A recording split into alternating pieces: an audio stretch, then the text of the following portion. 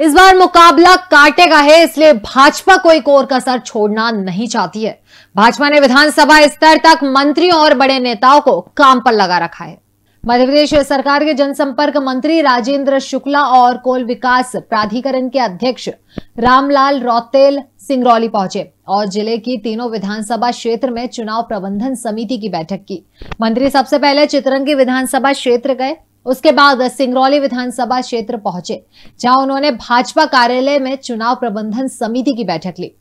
इस बैठक के बाद देवसर विधानसभा क्षेत्र के राज मिलान में भी बैठक में शामिल हुए। एनटीपीसी सूर्या भवन में मंत्री राजेंद्र शुक्ला को पॉलिटेक्निक कॉलेज के अतिथि विद्वानों ने अपनी मांगों के समर्थन में ज्ञापन दिया। मंत्री शुक्ला ने उनको आश्वासन दिया कि मुख्यमंत्री ने आप लोगों की मांगों का समर्थन किया है और आपकी मांगों का जल्द ही निपटारा किया जाएगा।